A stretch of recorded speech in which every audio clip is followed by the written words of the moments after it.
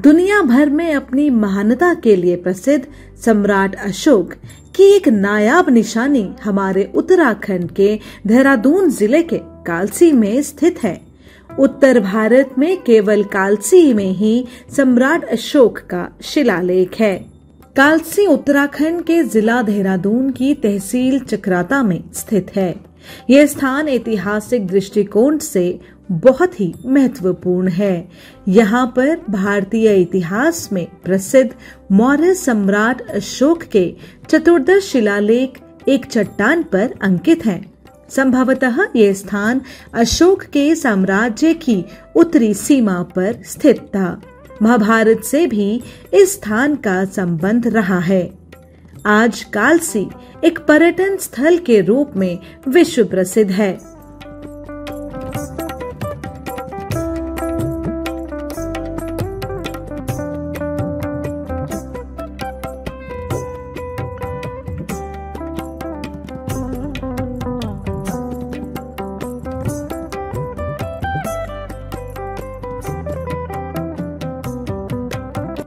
कालसी उत्तराखंड के देहरादून ज़िले में समुद्र स्तर से 780 मीटर की ऊंचाई पर स्थित है। ये जगह जौनसार बावर आदिवासी क्षेत्र का प्रवेश द्वार भी मानी जाती है, जो दो नदियों, यमुना नदी और टोंस नदी के संगम पर स्थित है। ये जगह विभिन्न प्राचीन स्मारकों, साहसिक खेल और पिकनिक स्थलों के लिए प्रसिद्ध है। विश्व के किसी भी देश का प्राचीन इतिहास जानने के लिए वहाँ प्राप्त अभिलेख सबसे विश्वसनीय और महत्वपूर्ण दस्तावेज़ जैसे होते हैं। इस दृष्टि से हमारा देश विश्व के सबसे धनी देशों में से एक है। हमारे देश के प्राचीन उत्कीर्ण लेख विभिन्न प्रकार के हैं और विभिन्न स्थलों पर जिस प्रकार प्राप्त हुए हैं, उनसे उन्हें समझने की सुविधा की दृष्टि से चार भागों में रखा गया है, जैसे शिलालेख स्तंभ लेख गुफा लेख ताम्र पत्र के लेख आदि। ये लेख पूरे देश में हज़ारों की संख्या में अब तक प्राप्त हो चुके हैं और पृथ्वी के गर्भ में अभी और न जाने कितने छुपे हुए हैं।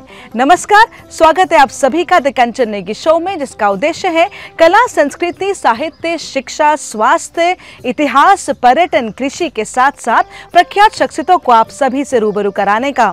और आज इसी क्रम में हम आपको लेकर आए हैं देहरादून के कालसी में, जहाँ है सम्राट अशोक का शिलालेख, जिसके माध्यम से सम्राट अशोक के आंतरिक प्रशासन का पता चलता है, तथा जहाँ हिंसा व पाप न करना, तथा युद्ध का त्याग और धर्म का उद्घोष और प्रजा के सुख साधन के लिए अनेक कार्यों का उल्लेख किया गया है। तो चलिए दर्शकों, चलते हैं और जानते हैं क्या कुछ खास है इस शिलालेख में। अनूठी प्रकृति के बीच स्थित यह शिलालेख सम्राट अशोक के आंतरिक प्रशासन के विषय में बताता है। अभिलेख के बारे में विस्तार से यदि बात करें तो आपको बता दें कि प्राचीन काल में विभिन्न राजा महाराजा अपने राज्य संबंधित कुछ महत्वपूर्ण बातों को चिरकाल तक स्थापित करने के लिए विभिन्न पत्थरों पर, चट्टानों पर, गुफाओं पर, स्तंभों आदि पर अपने लेख लिखवा देते थे, जिनको की अभिलेख के रूप में जाना जाता है। अभिलेख के अंतर्गत शिलालेख स्तंभ लेख गुहा लेख आदि सभी समाहित हो जाते हैं। वहीं दूसरी ओर शिलालेख की यदि बात करें तो शिलालेख शब्द का अर्थ सुनने से ही स्पष्ट हो जाता है। शिला का मतलब होता है पत्थर। जी हाँ पत्थरों पर लिखे गए लेख को ही शिलालेख के रूप में जानते हैं। चलिए आगे बढ़ते हैं और जानते हैं कुछ और कालसी में स्थित अशोक शिलालेख के बारे में।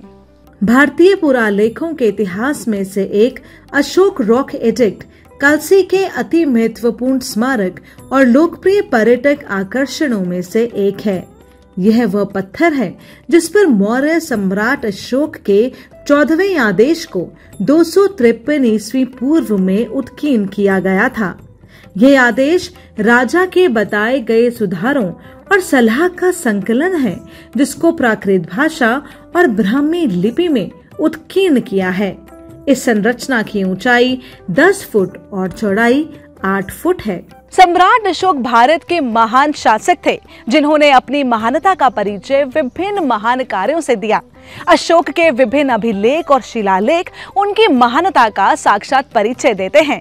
सम्राट अशोक मौर्य वंश के शासक के रूप में जाने जाते थे और उन्होंने विभिन्न अभिलेख, विभिन्न शिलाओं पर, स्तंभों पर, गुफाओं आदि पर उत्कीर्ण करवाए। अशोक ने अपने धर्म प्रचार, अपने अपने उद्देश्य, अपने सिद्धांत के प्रचार प्रसार तथा जनहित के लिए किए गए कार्यों को शिलालेखों व स्तंभों पर अंकित करवाया ताकि उनके विशाल साम्राज्य की जनता उसके शासन प्रशासन से क्रियाकलापों से अवगत होती रहे। और शताब्दियों बाद विश्व उनके महान साम्राज्य के बारे में अनभिज्ञ न रहे। जी हाँ दर्शकों, अशोक द्वारा खुदवाए गए अनेक शिलालेखों में से अब तक चौदह शिलालेख प्राप्त हो चुके हैं और ऐसा विश्वास है कि अनेक शिलालेख मानव खोजों से परे हैं।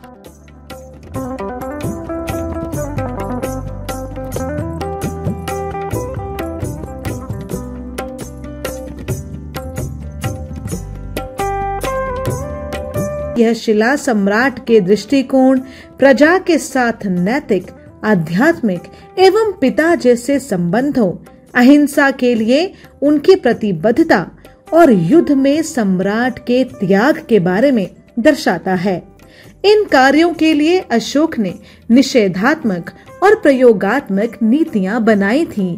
ये भी इसी लेख से पता चलता है। अशोक की इन निषेधात्मक नीतियों में संसारिक मनोविनोद पशु बलि अनावश्यक कार्यों में लिप्त होना, खुद का बखान करना तथा प्रयोगात्मक नीतियों में आत्मसंयम, मन की शुद्धता, कृतज्ञता माता पिता की सेवा, ब्राह्मणों और सन्यासियों की सेवा व दान तथा धार्मिक विषयों पर आपसी सामंजस्य का उद्बोधन है। दर्शकों, सम्राट अशोक के जो कुल चौदह वृहद शिलालेख प्राप्त हुए हैं, वे आठ अलग अलग जगहों पर मिले हैं। जैसे गिरनार का शिलालेख, जो गुजरात में है, शहबाजगढ़ी शिलालेख, जो पाकिस्तान में है, मानसहरा शिलालेख, जो पेशावर में है, सोपारा शिलालेख, जो महाराष्ट्र में है जौगढ़ शिलालेख, उड़ीसा, एरुगुड़ी शिलालेख, जो आंध्र प्रदेश में है। वहीं बड़े ही गौरव की बात है कि कालसी का शिलालेख काफ़ी प्रसिद्ध है, जो हमारे उत्तराखंड के देहरादून में स्थित है। आपको बता दें, दर्शकों, की इसकी लिपि ब्राह्मी है,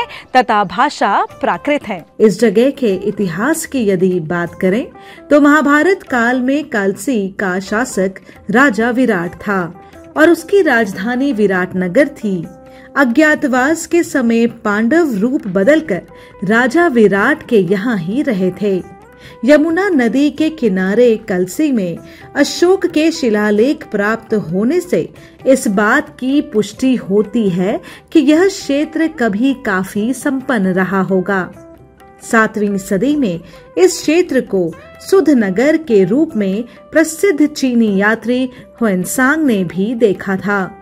ये सुध नगर ही बाद में कालसी के नाम से पहचाना जाने लगा। लगभग 800 वर्ष पहले दून क्षेत्र में बंजारे जाति के लोग आकर बस गए थे। तब से यह क्षेत्र गढ़वाल के राजा को कर देने लगा। प्राचीन समय के सबसे प्राचीन वंश मौर्य वंश के तीसरे राज्य अशोक मौर्य विश्व प्रसिद्ध और सबसे शक्तिशाली राजाओं में से एक थे। सम्राट मौर्य ने दो सौ उनहत्तर से दो ईस्वी पूर्व तक शासन किया। मौर्य वंश का यह राजा ही एक ऐसा राजा था जिन्होंने अखंड भारत पर राज किया था। सम्राट अशोक एक महान राजा होने के साथ ही धार्मिक सहिष्णु भी थे। वे बौद्ध धर्म के अनुयायी थे। दर्शकों, वास्तव में अभी तक प्राप्त अभिलेखों में सम्राट अशोक के अभिलेख हमारी प्राचीन सभ्यता, संस्कृति के सुनहरे दस्तावेज़ हैं। ये राष्ट्र की ऐसी अमूल्य निधि हैं, जिनकी तुलना किसी से नहीं की जा सकती। सम्राट अशोक ने अपने संपूर्ण शासन काल में शिलाओं और स्तंभों पर लेख गुदवाए और लिखवाए। ये लेख राजाओं की आज्ञाओं और शासन की ओर से जारी वक्तव्य के रूप में जाने जाते हैं। ये अभिलेख भारत के महान सम्राट अशोक के जीवन के बारे में, उनके धर्म के प्रति विचारधाराओं के बारे में, तथा तत्कालीन भारतवर्ष के स्वर्णिम इतिहास को जानने में हमारे ही नहीं, सारे विश्व की सहायता करते हैं। दर्शकों अशोक के शिलालेख देखा जाए तो वास्तव में मौर्य काल का ऐतिहासिक दस्तावेज़ है। सच तो यह है कि अशोक के संबंध में जानकारी प्राप्त करने का सबसे महत्वपूर्ण आधार देश भर में पाए जाने वाले उनके ही विभिन्न अभिलेख हैं। माना जाता है कि कलिंग के युद्ध की घटना के बाद सम्राट अशोक ने बौद्ध धर्म को अपना लिया और इस धर्म के अनुयायी बन गए। अपने राज्य में इस धर्म का प्रचार किया और लोगों को जीव और मानव के प्रति दया भाव रखने का संदेश दिया। भारत के महान शासक सम्राट अशोक मौर्य ने अपने जीवन में कई निर्माण कार्य करवाए थे। सम्राट अशोक ने अपने जीवन में कई शिलालेख भी खुदवाए, जिन्हें इतिहास में सम्राट अशोक के शिलालेखों के नाम से जाना जाता है।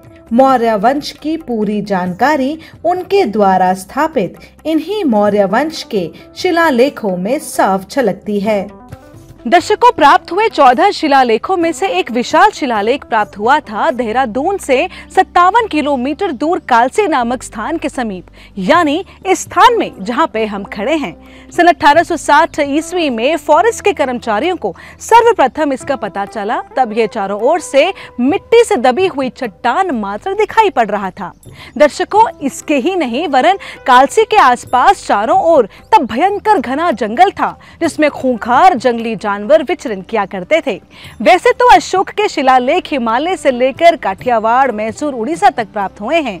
अशोक के राज तिलक के चौदहवें वर्ष और ईसा से 250 वर्दार्ग पूर्व कालसी के शिलालेख में अंकित है। इन अभिलेखों से अशोक के बारे में ज्ञात होता है दर्शकों कि उनके साम्राज्य की सीमाएँ कितनी विस्तृत थीं, क्योंकि एकांत में सुनसान इलाकों तीर्थ स्थानों या उनके पथ के समीप ये शिलालेख पाए गए हैं। आपको बता दें दर्शकों कि कालसी में ये शिलालेख प्राप्त हुआ उस समय ये पूरी तरह मिट्टी से ढका हुआ था। सफ़ाई के बाद स्थापत्य कला की इस बेजोड़ वस्तु को देख सभी चकित रह गए।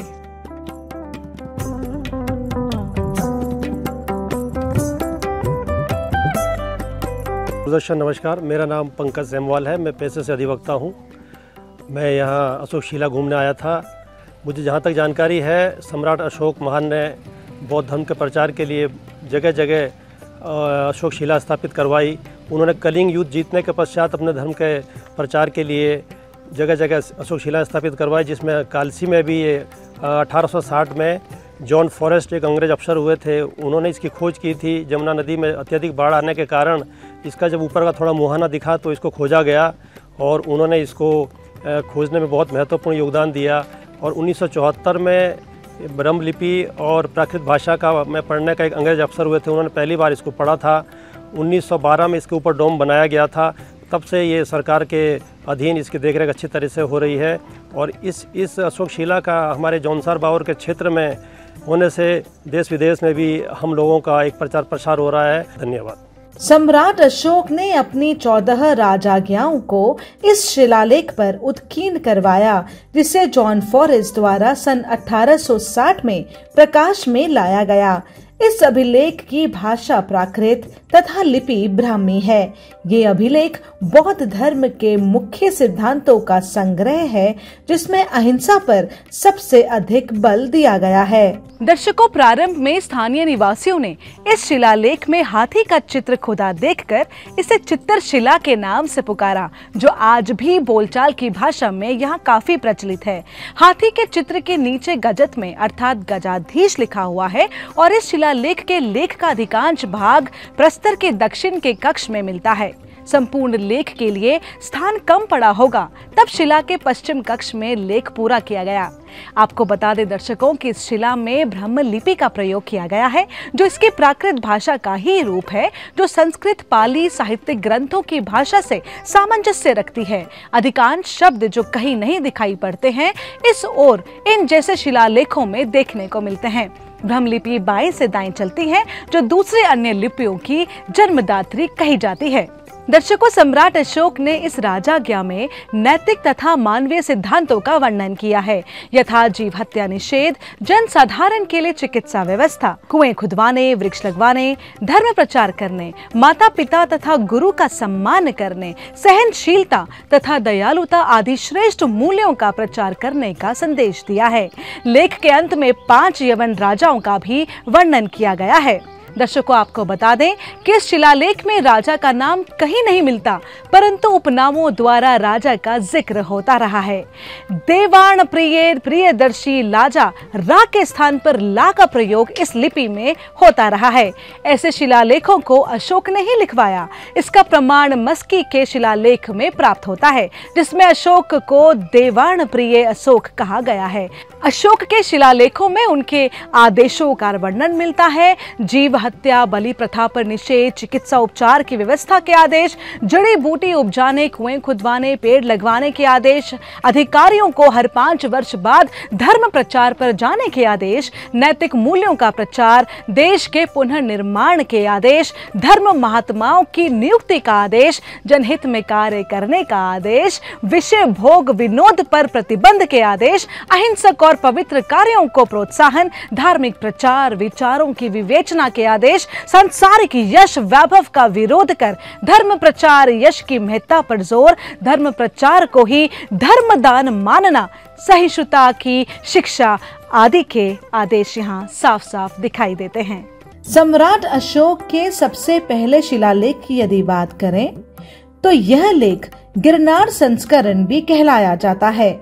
इसमें पशु बलि की निंदा की गई और उन्हें निषेध किया गया है। ऐसे समाज जिनमें पशु वध होता हो, पर भी प्रतिबंध लगाया गया है। इसमें अशोक ने कहा कि अभी राजकीय पक्षशाला में एक हिरण व दो मोर मारे जाते हैं, भविष्य में ये भी समाप्त कर दिया जाएगा। सम्राट अशोक के दूसरे शिलालेख में कहा गया है। मैंने अपने सीमांत शक्तियों व पड़ोसी राज्यों में भी मानव व पशु चिकित्सा का प्रबंध किया है। वहीं तीसरे शिलालेख में वर्णित है, रज्जुक युक्त व प्रादेशिक का उल्लेख। राजकीय के बारहवें वर्ष अधिकारियों को यह आदेश दिया कि वे हर पाँच वर्ष बाद दौरे पर जाएँ। इसमें कुछ धार्मिक नियमों का भी उल्लेख है। इसमें ये भी कहा गया है कि धर्मानुशासन ही अच्छा काम है, जिसके लिए मनुष्य को शीलवान होना आवश्यक है। वही पाँचवें शिलालेख में धर्म महामात्रों की नियुक्ति की जानकारी मिलती है। अशोक कहते हैं, मैंने राज्याभिषेक के तेरहवें वर्ष धर्म महामात्रों की नियुक्ति की। छठा शिलालेख कहता है आत्म नियंत्रण की शिक्षा के बारे में। जी हाँ इसमें अशोक अपने प्रतिवेदकों को आदेश देते हैं कि मैं जहाँ भी रहूँ, मुझे प्रजा के विषय में सूचना दें। सर्वलोक हित से बढ़कर कोई काम नहीं। सातवां शिलालेख कहता है तीर्थ यात्राओं का वर्णन। जी हाँ सब जगह सब संप्रदाय के मनुष्य निवास करें, क्योंकि वे सब संयम व आत्म शुद्धि चाहते हैं।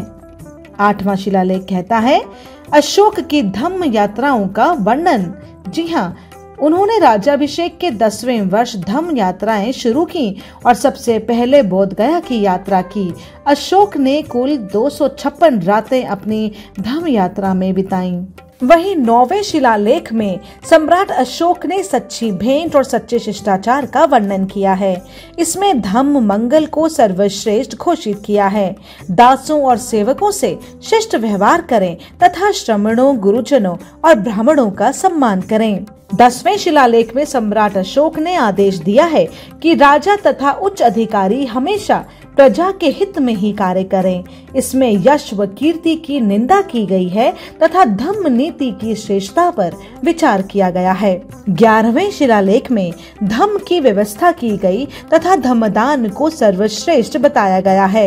वहीं बारहवें शिलालेख में स्त्री महामात्रों और वृक्ष भूमिकों की नियुक्ति का उल्लेख किया गया है। इसमें अशोक की धार्मिक सहिष्णुता को दर्शाया गया है। इसमें सभी संप्रदायों के सम्मान की बात कही गई है। वहीं तेरहवें शिलालेख में कलिंग युद्ध और अशोक के हृदय परिवर्तन का वर्णन किया गया है।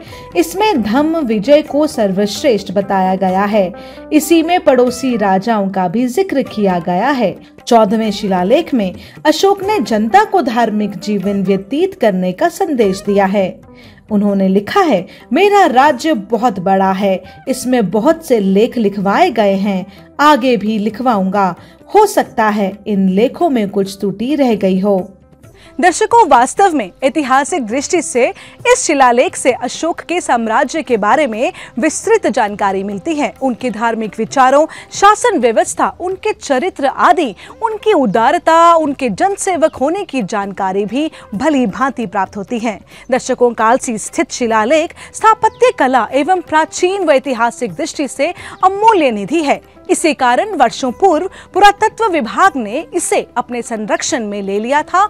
एक छोटा सा गुंबद बनाकर इसे सुरक्षित कर लिया था। खुदाई के समय शिलालेख के पास ही ब्रह्मा, विष्णु, महेश की तीन फुट ऊँची, पाँच फुट लंबी पत्थर पर तराशी गई मूर्ति भी प्राप्त हुई है। अनुमान है कि किसी प्राचीन मंदिर के प्रवेश द्वार के स्तंभों के ऊपर इसे रखा जाता रहा होगा। हज़ारों वर्षों पूर्व की ये मूर्तियाँ तत्कालीन शिल्पकला की समृद्धि का अनूठा उदाहरण है। दर्शकों अशोक शिलालेख कालसी देहरादून में कई पर्यटक रोज़ाना आते हैं। यहाँ के बहुत अच्छा लगा हमारे इतिहास का चीज़ देखने को मिलता है और हमारे देश में ऐसे बहुत से जगह हैं जहाँ कि हम लोगों को पुराने पुराने चीज़ देखने को मिलते हैं। इसलिए घूमने आए हैं देहरादून से आए हैं काफ़ी अच्छा लगा अशोक जी का ये इस पर लिखा हुआ है उनका नहीं बहुत ही अच्छा मुझे लगता है कि यहाँ पे सभी पर्यटकों को आना चाहिए और अशोक शिलालेख जो उनके चौदह लेख है उनमें से ये एक है और आपको कैसा लगा यहाँ के यहाँ बहुत अच्छा लगा देखने से हाँ। So Mike, how do you feel after seeing the Ashokan edict? This is, this is quite the privilege. This is the first time I've been in India. I followed Buddhism for a long time and I came here on a Royal Enfield, another item on my, so to speak, bucket list. So uh, I have two good friends that have brought me here and I'm very appreciative and very honored to be here in India. Thank you. Maurya सम्राट अशोक के शिलालेख भद्य असंबद्ध और पुनरावृत्ति से पूर्ण है और शिष्टाचार में बहुत बड़े हैं अशोक के आदर्श भी उनकी महानता का कारण थे वे एक महान विजेता थे और कलिंग युद्ध में उन्होंने ये सिद्ध कर दिखाया। सम्राट अशोक वीर साहसी और युद्ध कुशल व्यक्ति थे। सम्राट अशोक के प्रत्येक विचार और आचरण में, राज्य की नीतियों में देश विदेश में भेजे अनुदानों में और शिलालेखों के प्रत्येक पंक्ति और उनके अर्थ और भावना में मानवता एवं प्राणी मात्र का हित सर्वोपरि था। सम्राट अशोक स्वयं उनके अधिकारी न्याय राज्य का धन सेना आदि सभी इन्हीं मानवता के प्रति समर्पित थे।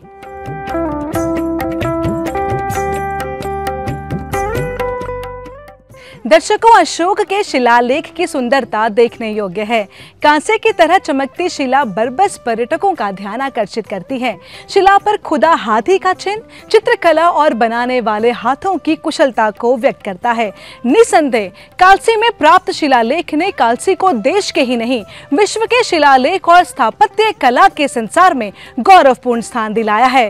तो दर्शकों, हमें उम्मीद है कि आपको द कंचन नेगी शो का ये एपिसोड भी बेहद पसंद आया होगा और इसी उम्मीद के साथ कि शनिवार रात नौ बजे दूरदर्शन उत्तराखंड पर द नेगी शो की टीम फिर हाजिर होगी। आप मुस्कुराते रहें, खुश रहें। फ़िलहाल मुझे यानी डॉक्टर कंचन नेगी को दीजिए इजाज़त। नमस्कार।